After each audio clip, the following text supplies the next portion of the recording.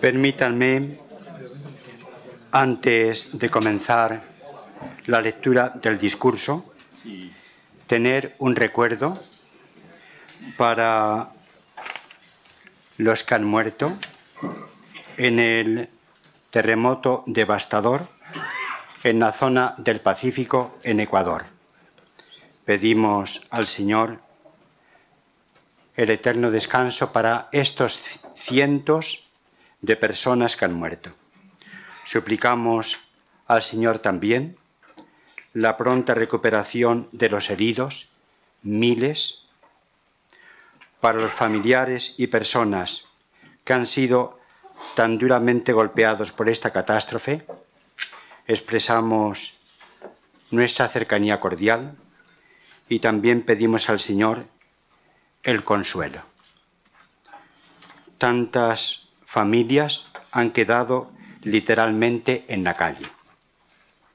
Como conferencia episcopal, también ofrecemos y anunciamos ya nuestra colaboración.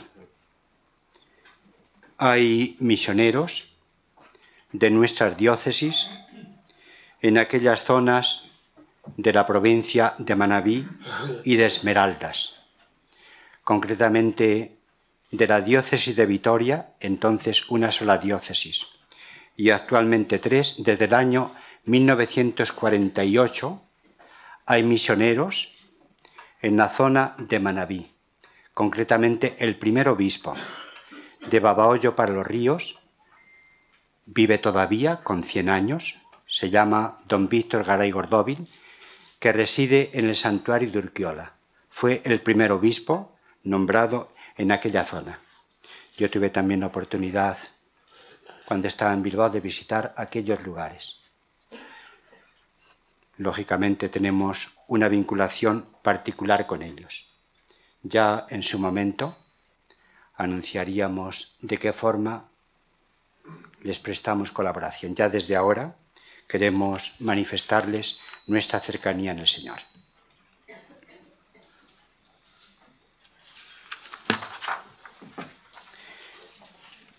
Saludo fraternalmente a los hermanos en el episcopado y doy la bienvenida a todos a esta asamblea plenaria de la Conferencia Episcopal Española. Doy gracias en nombre de todos a quienes con generosidad y competencia dedican su tiempo y sus fuerzas a los diversos servicios de la conferencia, a los comunicadores que cubren este acontecimiento eclesial de la Asamblea, expreso mi respeto y gratitud. Recordamos también algunos relevos en el episcopado. Felicitamos a Monseñor Gerardo Melgar, que pronto pasará del servicio pastoral de Osma Soria a Ciudad Real. Y agradecemos a Monseñor Antonio Algora el ministerio desarrollado en esta diócesis y anteriormente en otra. Continúa siendo, como todos sabemos, administrador apostólico de Ciudad Real hasta el día 21 en que tomará posesión, si Dios quiere, don Gerardo. Don Ramón de Loyo López, a quien el Santo Padre ha aceptado la renuncia de la diócesis de Jaén, en la que continúa como administrador apostólico, también mostramos nuestra felicitación. Igualmente a Monseñor Amadeo Rodríguez, hasta ahora obispo de Plasencia, que comenzará su ministerio en la sede jienense el próximo día 28 de mayo. Doy un saludo especial de bienvenida a don Juan Carlos Elizalde Espinal, Onguietorri, obispo de Vitoria, nombrado el día 8 de enero de 2016 y que recibió la ordenación el pasado día de 12 de marzo, relevando en dicha sede a Monseñor don Miguel Asurmendi, a quien el Papa ha aceptado su renuncia tras un dilatado servicio episcopal que agradecemos de corazón. 20 años. Un saludo también a quienes desde nuestra última asamblea han pasado a ocupar sus nuevas sedes episcopales.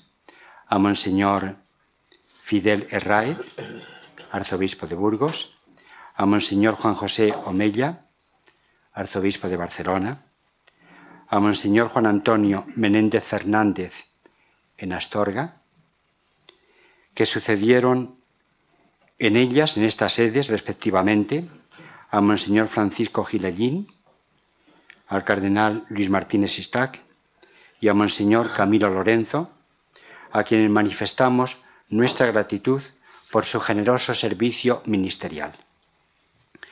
A unos nos unimos en la gratitud por el ministerio cumplido y a otros acompañamos en la esperanza al comenzar, después de recibir la ordenación, su ministerio episcopal, como ocurre en el caso de don Luis Ángel de las Heras, nombrado obispo de Montoñedo Ferrol, que el día 7, si Dios quiere, de, de marzo, recibirá la ordenación. De mayo. También felicitamos a don Luis Argüello, nombrado obispo de Valladolid, auxiliar, el día 14 de abril, que recibirá la ordenación el día 3 de junio, el día del Sagrado Corazón, que en Valladolid tiene una resonancia singular. A todos ellos queremos mostrar nuestra fraternidad en el ministerio episcopal, tanto a los obispos eméritos como a los que ejercen o van a ejercer próximamente el cargo encomendado. Saludo también cordialmente a don Santiago, secretario de la Anunciatura y también a Monseñor Fabio Duque, presidente de la Comisión Episcopal de Liturgia de la Conferencia Episcopal de Colombia. Bienvenida. Cuatro diócesis están actualmente presididas por administrador diocesano.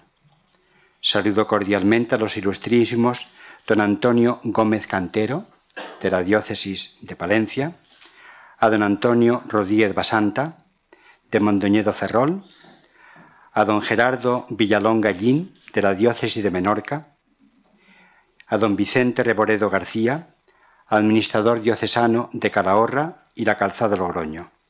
Bienvenidos todos a esta asamblea.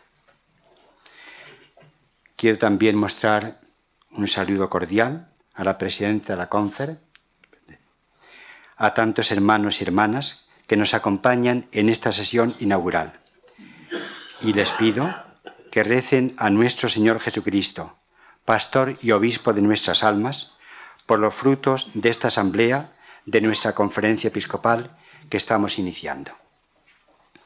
Deseo tener un recuerdo especial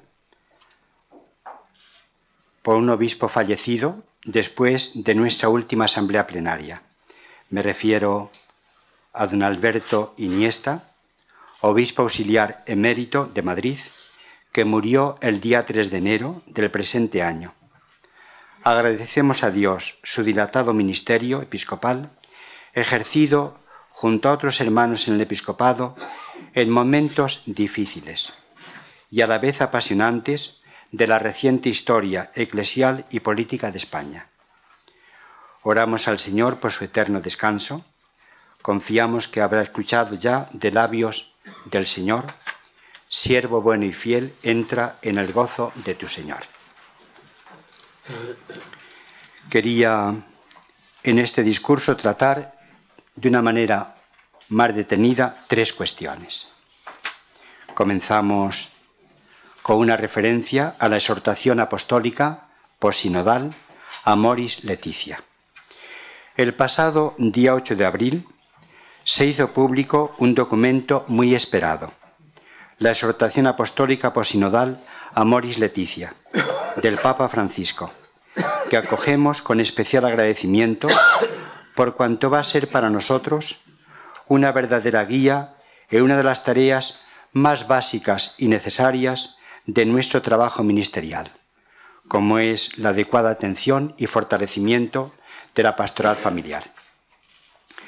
La alegría del amor, Amoris Leticia, que se vive en las familias es también el júbilo de la Iglesia. Así comienza la mencionada exhortación, firmada por el Papa el día 19 de marzo, fiesta de San José. Este comienzo se sitúa en la misma perspectiva de su primera exhortación apostólica, que a su vez era, sobre todo era, programática de su pontificado. La alegría del Evangelio, Evangelii Gaudium, llena el corazón y la vida entera de los que encuentran a Jesús.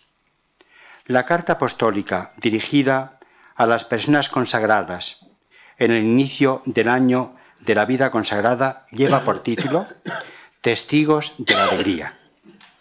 Estas coincidencias reiteradas e intencionadas nos llevan a la conclusión de que la alegría y el gozo del Evangelio iluminan el magisterio del Papa Francisco. No es con mirada oscura y triste, sino gozosa y esperanzada por la salvación que proclama el Evangelio y comunica el encuentro con Jesucristo, impregnada por la misericordia de Dios, con la que contempla el Papa Francisco a la humanidad en la hora presente. Esta alegría es compatible con las pruebas, ya que para los discípulos de Jesús crucificado y resucitado, la cruz y la luz se armonizan en su existencia marcada por la Pascua. Esta alegría tiene su versión en el matrimonio cristiano, que dilata la amplitud del corazón. La alegría matrimonial, que puede vivirse aun en medio del dolor, implica aceptar que el matrimonio es una necesaria combinación de gozos y de esfuerzos, de tensiones y de descanso, de sufrimientos y de liberaciones. La visión que transmite la exhortación apostólica es realista, con finura, por la cercanía cordial a las personas en sus situaciones concretas, y también gozosa por la experiencia del amor de Dios. No es difícil descubrir entre el Papa Juan XXIII y el Papa Francisco una afinidad de espíritu y de actitudes. Dios no es fuente de aflicción y tristeza, sino de gozo y paz. El Evangelio es la buena noticia de Dios para los hombres, que alegra el corazón de quienes lo reciben y de los misioneros que lo anuncian. Por ello, un santo triste es un triste santo. Cargar con la cruz siguiendo al Señor, vencedor del pecado y la muerte, fortalece el ánimo y otorga confianza. Ha sido una significativa coincidencia el que la publicación de la exhortación Amoris Leticia haya tenido lugar en el año jubilar de la misericordia, ya que la lógica de la misericordia es la clave del documento. Así leemos. Es provincial, es providencial que estas reflexiones se desarrollan en el contexto de un año jubilar dedicado a la misericordia, porque también frente a las más diversas situaciones que afectan a la familia, la Iglesia tiene la misión de anunciar la misericordia de Dios, corazón palpitante del Evangelio, que por su medio debe alcanzar la mente y el corazón de toda persona. La misericordia del Padre Bueno, de la parábola evangélica, restituye al pródigo en la dignidad de hijo y lo reintegra en la casa paterna. En cambio, el rigor del hermano mayor, que se consideraba cumplidor intachable de las órdenes del Padre, excluía a su hermano y se negaba a entrar en la fiesta del perdón y de la alegría. Dos lógicas son palabras del Papa Francisco, dos lógicas, recorren toda la historia de la Iglesia. Marginar y reintegrar. El camino de la Iglesia es siempre el camino de Jesús, el de la misericordia y de la integración. El camino de la Iglesia es el de no condenar a nadie para siempre y difundir la misericordia de Dios a todas las personas que la piden con corazón sincero porque la caridad verdadera siempre es inmerecida, incondicional y gratuita. Nadie puede ser condenado para siempre, porque esa no es la lógica del Evangelio. Esto es válido para todos nosotros y también, por ejemplo, para los divorciados vueltos a casar. Por este dinamismo de la misericordia que tiende a integrar, se comprende que nadie, aunque se halle en situación irregular por la unión matrimonial, debe considerarse excomulgado, al margen de la Iglesia y abandonado por Dios. No está remitido para siempre solo a la misericordia divina en su propio corazón y aisladamente, sino que puede continuar contando y viviendo en la Iglesia, que es casa de misericordia y sacramento de salvación. En diálogo cercano y confiado con otros cristianos, y en un movimiento de humilde retorno a Dios, puede ser admitido por el ministerio de la comunión eclesial en la vida y en las tareas de la Iglesia, hasta donde ambos, con sinceridad de conciencia y fidelidad evangélica, ambos, el presbítero y el cristiano, que se halla en esa situación irregular, juzguen oportuno. En la, en la exhortación apostólica es primordial el discernimiento cristiano. Supone la aceptación de la doctrina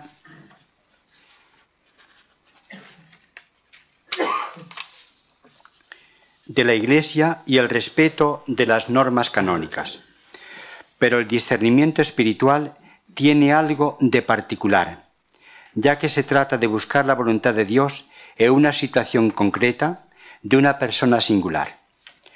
No basta enumerar una casuística hasta el límite de lo previsible para encuadrar el caso concreto.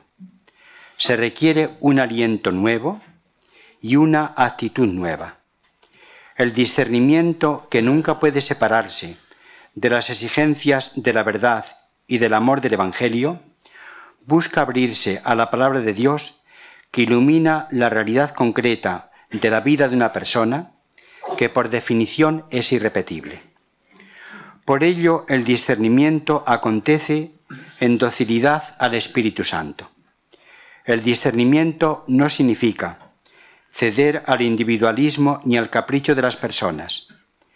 No es menos fiel al Evangelio que el atenimiento estricto a la letra.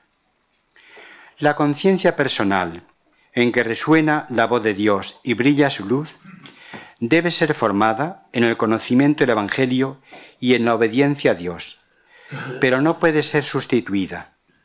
Es como un santuario que nadie puede invadir. Como el discernimiento debe abrirse paso en la complejidad de una vida concreta con muchos condicionamientos, y como cada persona recorre su camino y tiene un ritmo propio de asimilación del Evangelio, no es suficiente recordar y aplicar sin más los principios generales. Debemos ejercitar la docilidad al Espíritu Santo, que actualiza, apropia y personaliza la palabra de Dios en Jesucristo a cada cristiano. Acompañamiento de otros cristianos adultos. Comunión leal en la Iglesia. Obediencia fiel a Dios y escucha atenta de la conciencia convergen en el discernimiento. Ahora son palabras de la exhortación. A partir del reconocimiento del peso de los condicionamientos concretos, podemos agregar que la conciencia de las personas debe ser mejor incorporada en la praxis de la Iglesia en algunas situaciones que no realizan objetivamente nuestra concepción de matrimonio. Ciertamente hay alentar la maduración de una conciencia iluminada, formada y acompañada por el discernimiento responsable y serio del pastor, y proponer una confianza cada vez mayor en la gracia.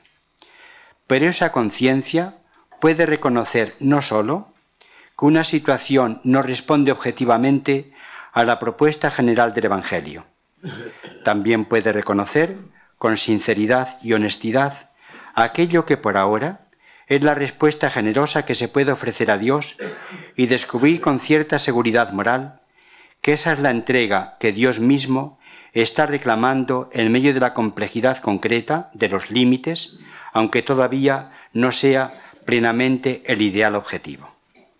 Hasta aquí las palabras de la exhortación. La exhortación apostólica es un gran documento, por ser un escrito largo y por ser un documento importante. Las dimensiones de Amoris Leticia se explican por varios motivos. En la exhortación se recogen abundantemente párrafos de las dos relaciones sinodales, de catequesis del Papa Francisco y de otros documentos magisteriales, por ejemplo de la Conferencia Episcopal Española, e incluso citas interesantes de teólogos y de personas dotadas de sabiduría y del don de la palabra, por ejemplo Octavio Paz. Es larga la exhortación porque está escrita con un estilo esponjado, ágil y bello. No es un escrito denso, apto solo para técnicos. Es de fácil lectura y comprensión. Aunque se lee sin necesidad de releer para entender bien, compensa siempre el trabajo de relectura para percibir sugerencias interesantes antes inadvertidas. No es un escrito plano, sino rico y estimulante. Por otra parte, aunque los capítulos están bien trabados en el conjunto, se puede leer cada capítulo separadamente. El capítulo centrado en la Sagrada Escritura, que es muy bello. El dedicado a los desafíos de la cultura y la sociedad actuales planteados a la familia.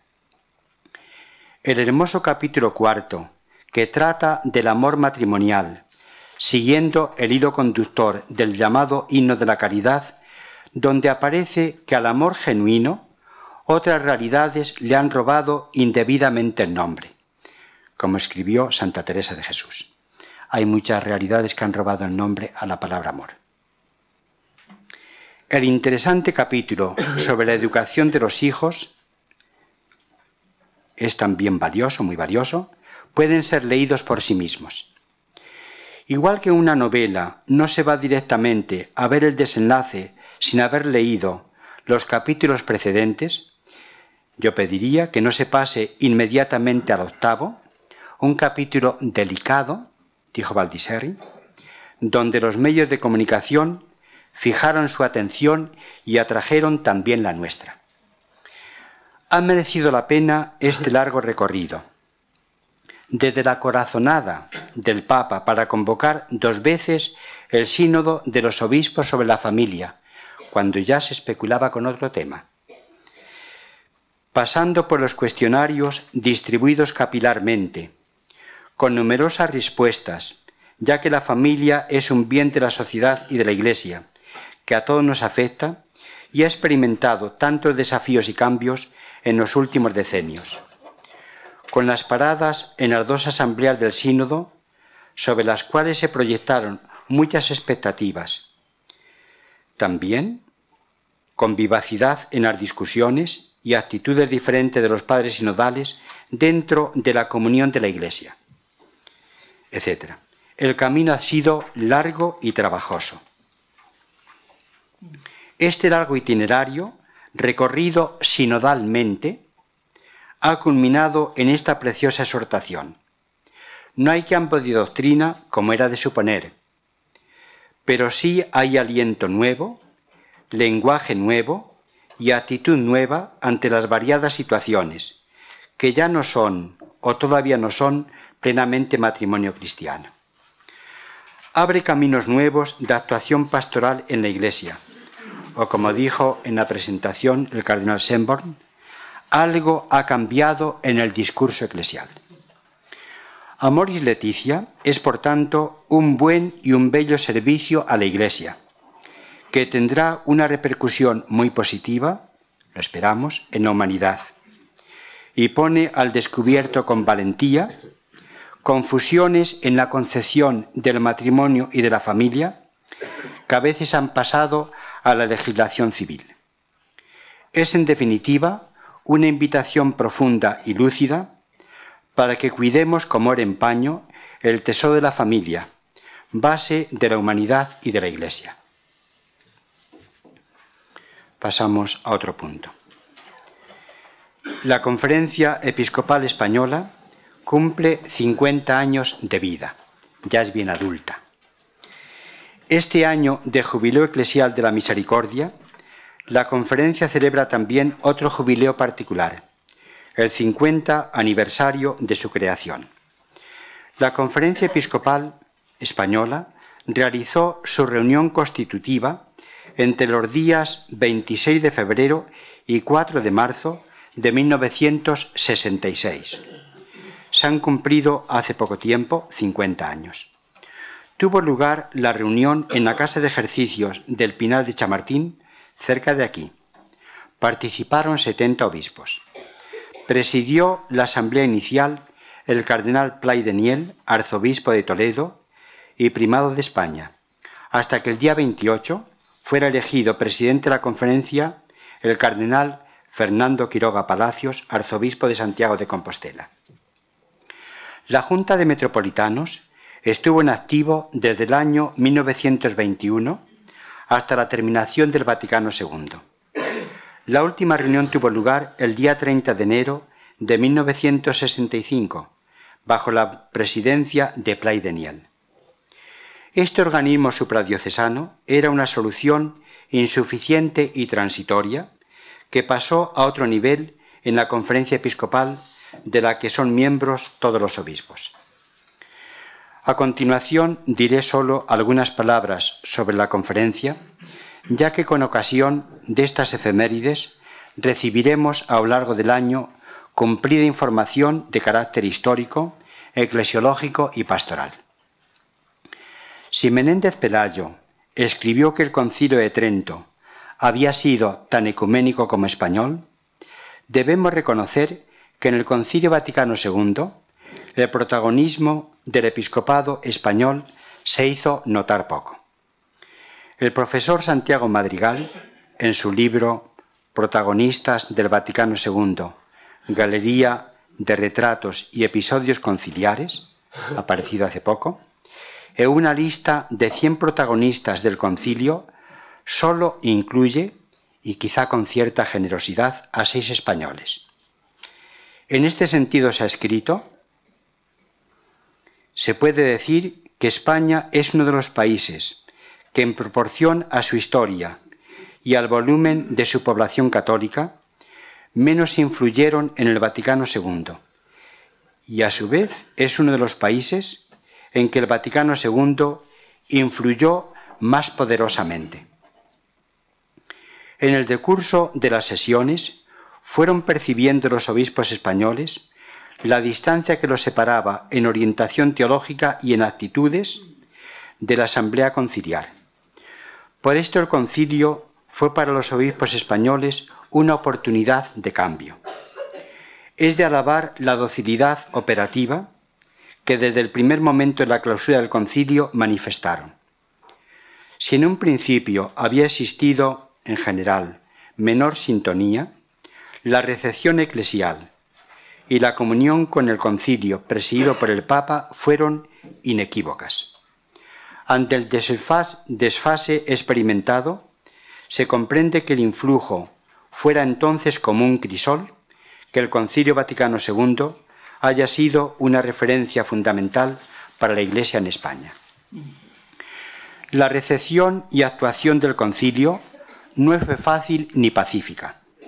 Hubo desasosiego, polémicas, resistencias e impaciencias. Hacía mucho tiempo que las aguas estaban como estancadas, de modo que al romperse las compuertas arrastró consigo tanto corrientes de vida cristiana auténtica como hábitos envejecidos.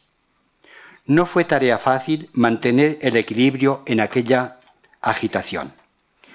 La confesionalidad del Estado no era compatible con las relaciones diseñadas por el concilio entre el Estado y la Iglesia y caracterizadas por la mutua independencia y la sana colaboración. Se comprende que la declaración conciliar Dignitatis Humanae sobre el derecho a la libertad social y civil en materia religiosa encontrara dificultades para ser comprendida y llevada a la práctica. La transición política, que no fue exclusivamente política, realizó esta tarea todavía pendiente para nosotros.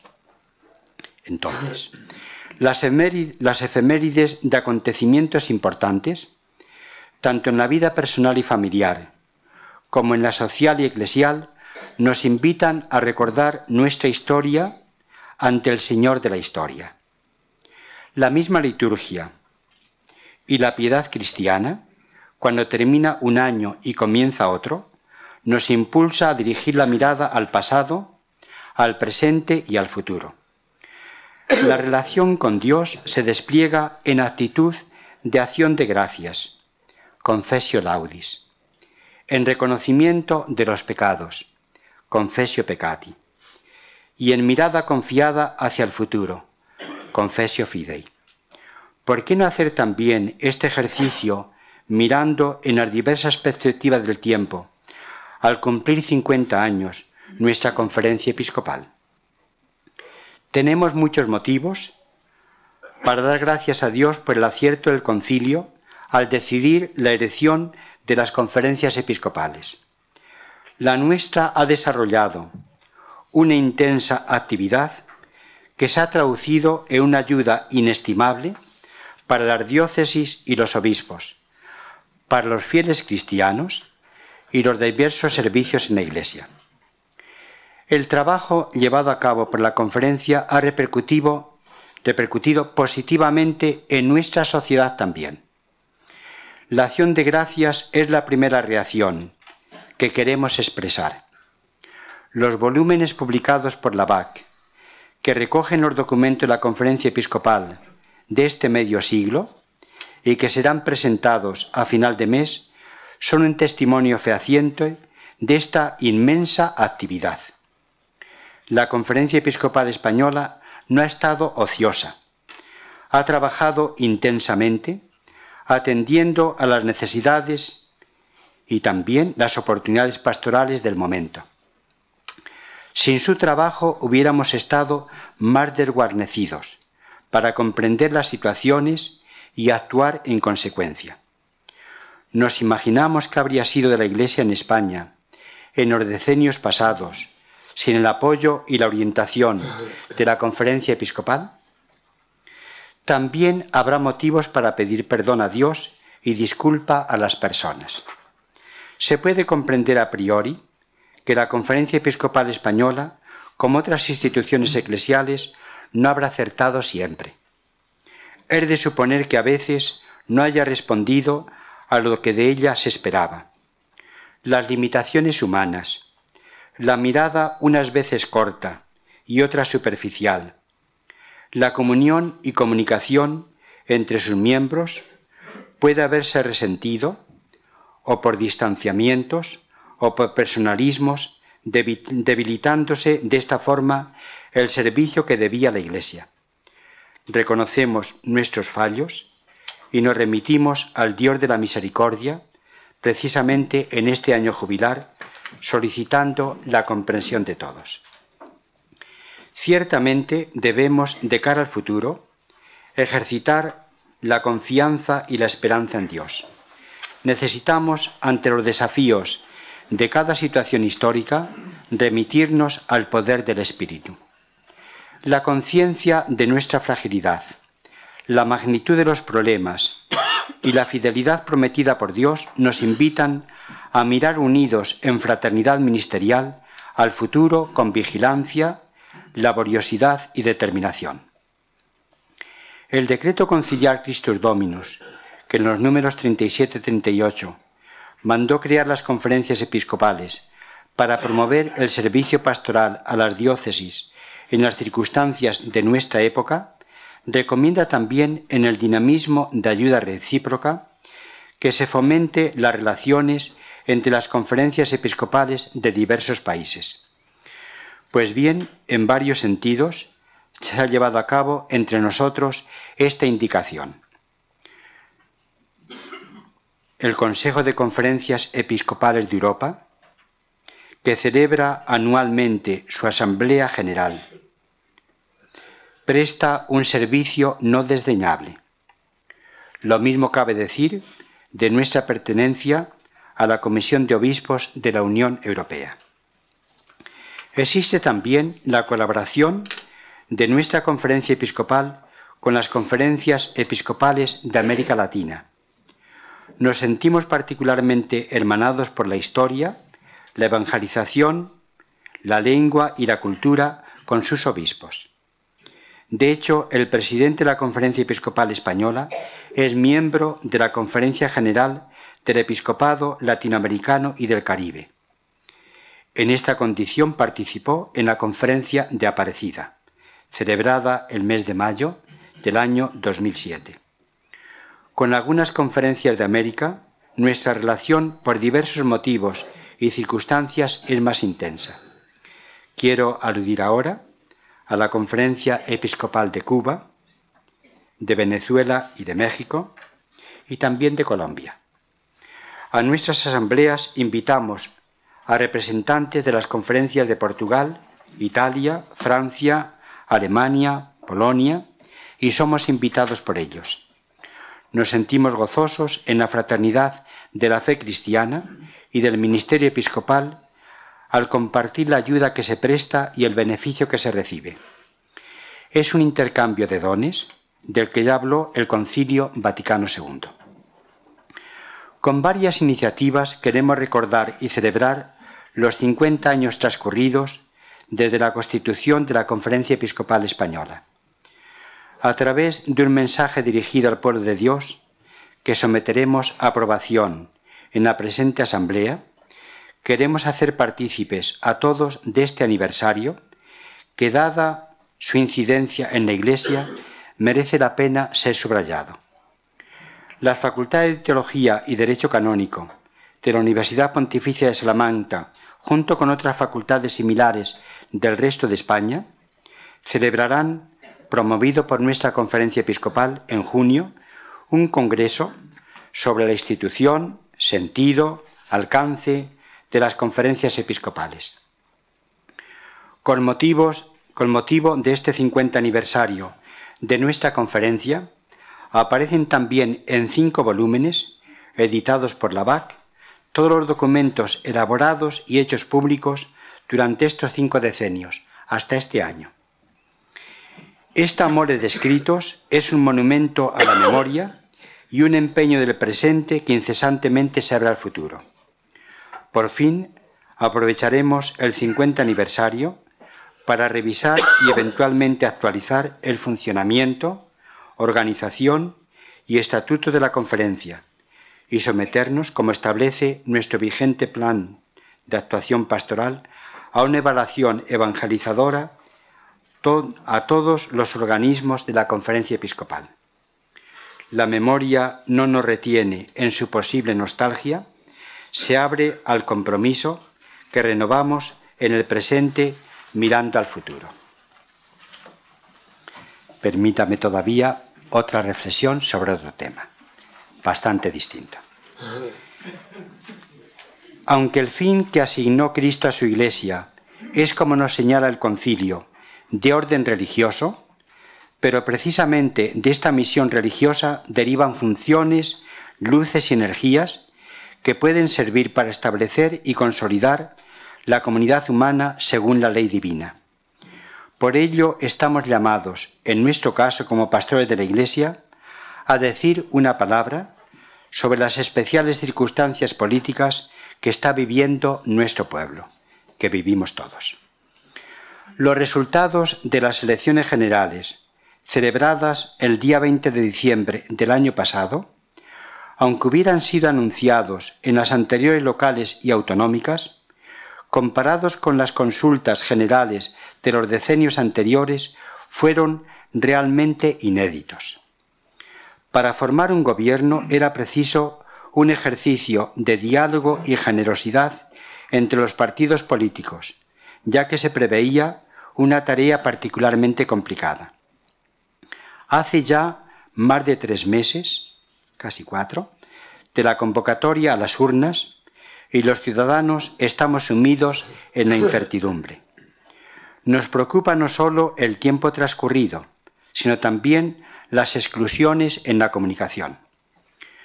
Con las hipótesis diversas y de hondo calado, nos hallamos como ante una encrucijada.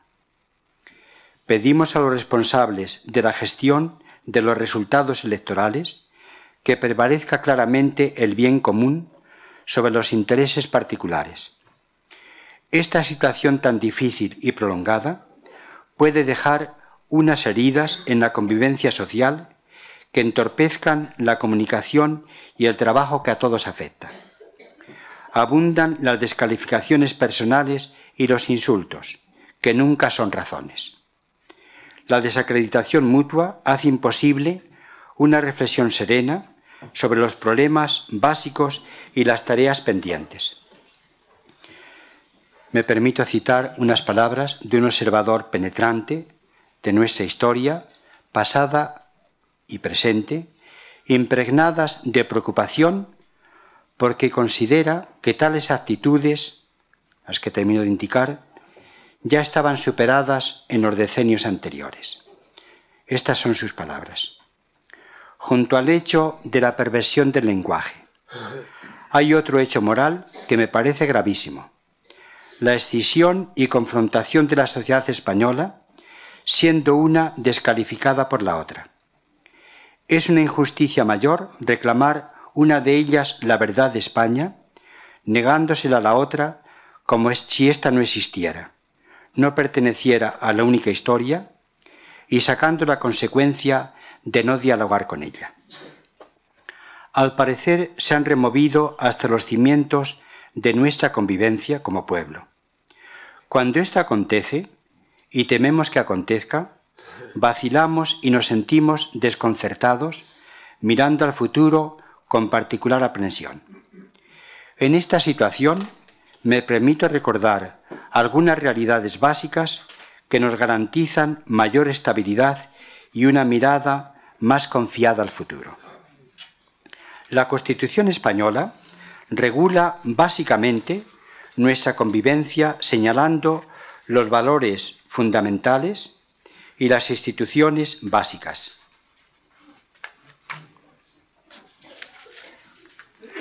La Constitución fue gestada en un ambiente de diálogo y de consenso, al que no fue ajena la Iglesia y más en concreto nuestra conferencia episcopal. Deseábamos entrar en una nueva etapa en la que todos tuviéramos espacio, reconciliándonos como ciudadanos y convivientes, sin privilegios ni exclusiones. La Constitución fue ratificada libremente en referéndum por la sociedad entera. Aunque haya aspectos en los que el paso del tiempo nos indique la conveniencia de ser actualizados, no es razonable ni legítimo poner en cuestión las líneas fundamentales de la misma. Sin esta casa común, quedaríamos a la intemperie. Nuestro marco más amplio, como pueblo, es Europa, en cuya historia España ha tenido una contribución importante. Europa ha ejercido un influjo inmenso con sus luces y sus sombras en la humanidad. Sería indebido que Europa se redujera a los aspectos económicos, técnicos y de bienestar. No faltan confianza en el futuro, generosidad y magnanimidad. Ha emitido Europa una irradiación que la ha hecho grande olvidar las raíces grecorromanas, cristianas, de la Ilustración y otras de índole solidaria nos debilitan. La desmemoria de la historia incapacita para proyectos atrayentes de futuro. Cerrar ahora, por ejemplo, nuestras fronteras para defender nuestro nivel económico es signo de miedo y de debilidad, como lo son también los muros levantados frente a la llamada apremiante y dramática de los refugiados, ante la que no podemos hacer oídos sordos en una actitud egoísta que contradice nuestra tradición humanitaria europea. La visita del Papa Francisco a la isla de Lesbos junto al patriarca ecuménico de Constantinopla y al arzobispo ortodoxo de Atenas, el pasado sábado, día 16, es para nosotros un llamamiento a una mayor solidaridad europea, signo de nuestra verdadera tradición y raíces humanistas y cristianas. Recordemos en este sentido las palabras del Papa Juan Pablo II, pronunciadas el 9 de noviembre de 1982 en Santiago de Compostela. Él dijo como un grito lleno de amor. Vieja Europa, vuelve a encontrarte. Sé tú misma. Descubre tus orígenes. Aviva tus raíces. Renueva aquellos valores auténticos que hicieron gloriosa tu historia y benéfica tu presencia en los demás continentes. Hasta aquí las palabras de Juan Pablo II. Los derechos humanos tienen su fundamento en la dignidad de la persona, el respeto mutuo, la libertad, la defensa de todo ser humano se asienta en la persona con su dignidad inviolable e innata.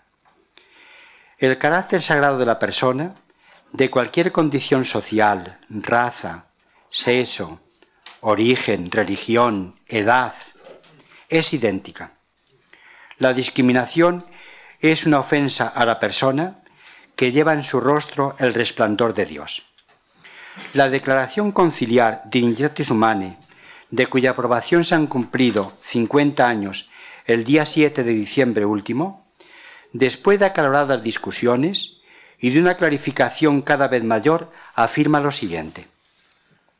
Este concilio vaticano declara que la persona humana tiene derecho a la libertad religiosa. Esta libertad consiste en que todos los hombres deben estar inmunes de ecuación tanto por parte de personas particulares como de los grupos sociales y de cualquier poder humano, de modo que en materia religiosa ni se obliga a nadie a actuar contra su conciencia, ni se le impida que actúe conforme a ella, pública y privadamente, solo o asociado con otros dentro de los debidos límites. Y continúa, el derecho a la libertad religiosa está realmente fundado en la dignidad misma de la persona humana, tal como se conoce por la palabra revelada de Dios y por la misma razón. Este derecho debe ser reconocido, ya que es inherente a la persona que lo tiene por sí misma y no porque se le otorgue. Consideramos un servicio prestado a los demás advertir que si se oscurece en la humanidad la luz de Dios, sonnubila al mismo tiempo la dignidad de la persona humana.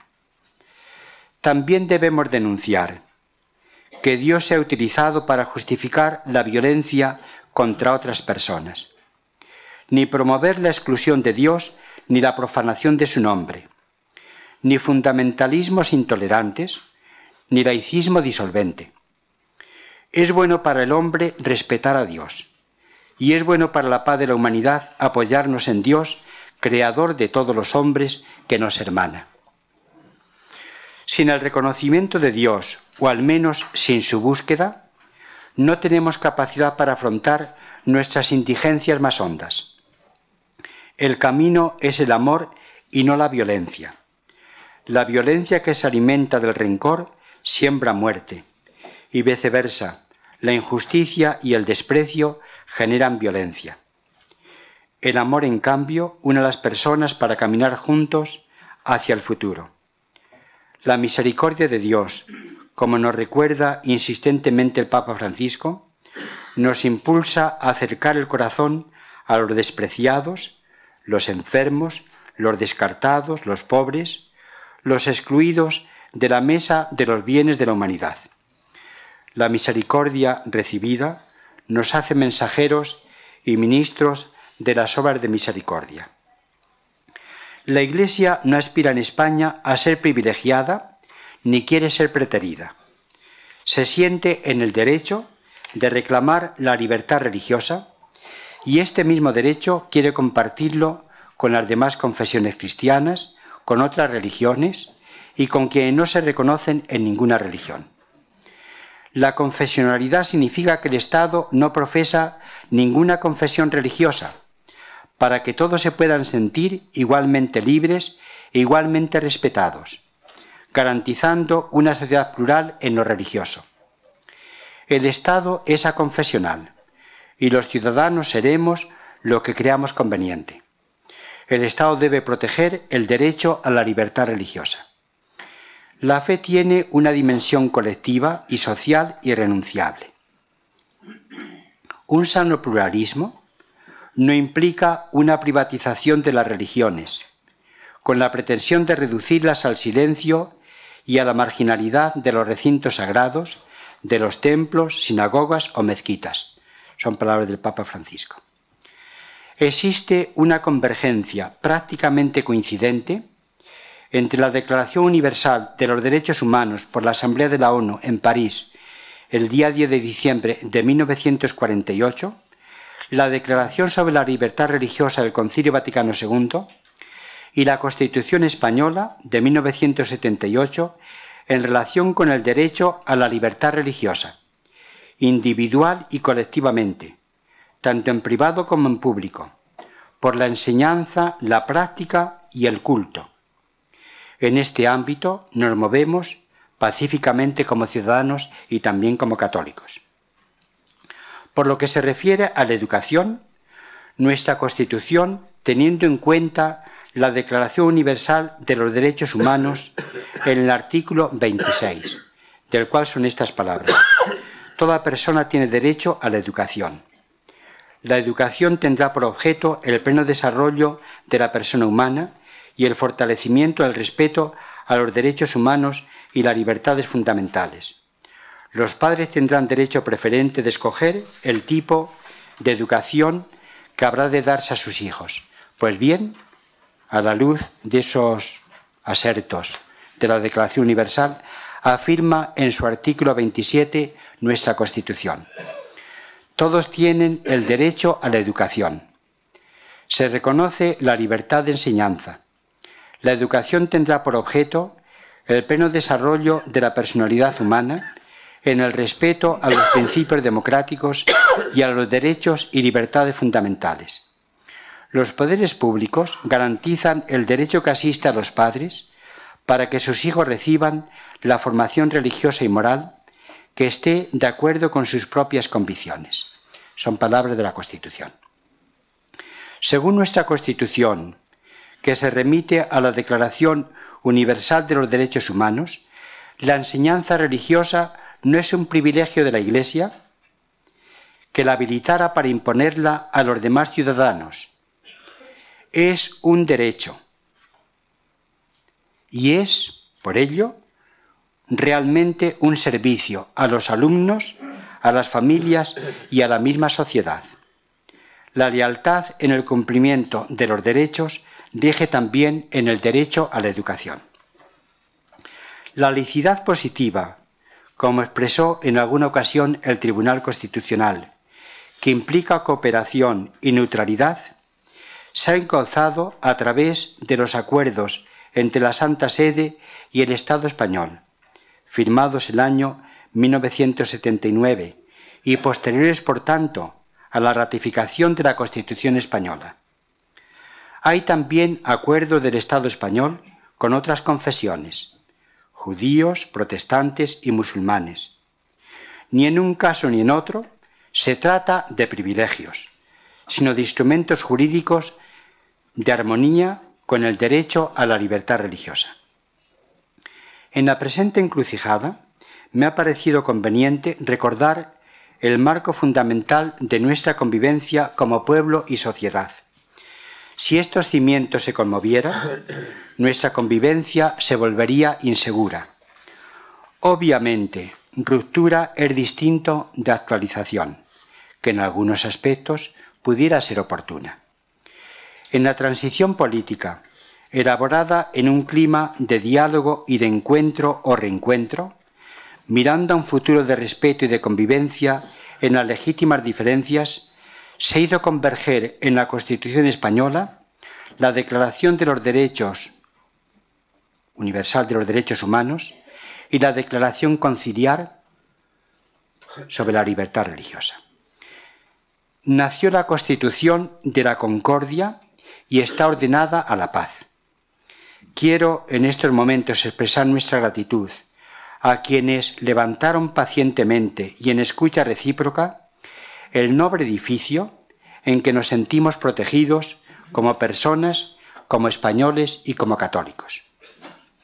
Y permítanme, pidiendo disculpas porque quizás se demostrado todavía otras cuestiones ya cortas. En este contexto social y político quiere vivir la Iglesia contribuyendo mediante su específica misión religiosa al bien común de todo nuestro pueblo. La parte esencial de esta misión la constituye nuestra tarea evangelizadora, que encuentra en el vigente plan, de la Conferencia Episcopal Española un instrumento para avanzar en sus objetivos según el espíritu marcado por el Papa Francisco en la exhortación Evangelii Gaudium. Así lo haremos en esta asamblea, dedicando también una parte importante de nuestras reflexiones y diálogo al estudio del proyectado documento Jesucristo, Salvador del mundo y esperanza de los hombres, ya que Él constituye el contenido esencial de la evangelización y la vocación suprema del ser humano, pues en realidad el misterio del hombre solo se esclarece en el misterio del Verbo encarnado.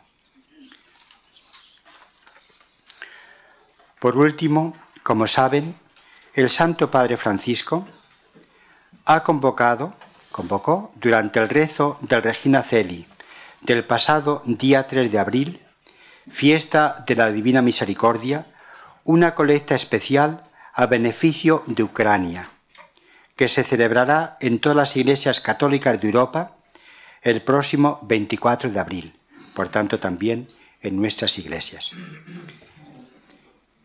En sus palabras, el Papa Francisco se refirió textualmente al drama de los que sufren las consecuencias de la violencia en Ucrania, en los que permanecen en las tierras devastadas por las hostilidades, que han causado ya varios miles de muertos, y en los más de un millón que fueron empujados a dejarlas por la grave situación que perdura.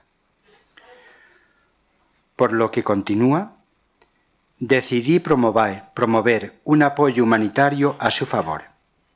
Por eso tendrá lugar una colecta especial en todas las iglesias católicas de Europa el próximo domingo, día 24 de abril. Para secundar esta convocatoria del Papa, la Ardiócesis de España, junto con las organizaciones caritativas y asistenciales de la Iglesia, hemos puesto en marcha una campaña conjunta con este fin, con el lema Con el Papa por Ucrania. En ella participan Confer, Caritas, Manos Unidas y Ayuda a la Iglesia Necesitada. Lo, lo recogido en estas colectas será enviado a la Santa Sede y la distribución de la misma en los territorios afectados de Ucrania se realizará a través del Pontificio Consejo Corunum. Como gesto de nuestra conferencia episcopal para esta campaña, con el Papa por Ucrania, se destinará una ayuda extraordinaria de 300.000 euros. Unamos a esta campaña propuesta por el Papa Francisco el aporte más valioso por nuestra parte, la oración confiada a Dios para que cesen todas las situaciones injustas de sufrimiento en tantos escenarios conflictivos de nuestro mundo. Y por lo que se refiere a nuestro país, que el Señor nos conceda un verdadero espíritu de cooperación y concordia en la búsqueda del bien común de nuestro pueblo, por encima de intereses partidistas. Que Santa María, Madre del Señor, nos ayude con su intercesión materna en los trabajos de esta Asamblea. Muchas gracias.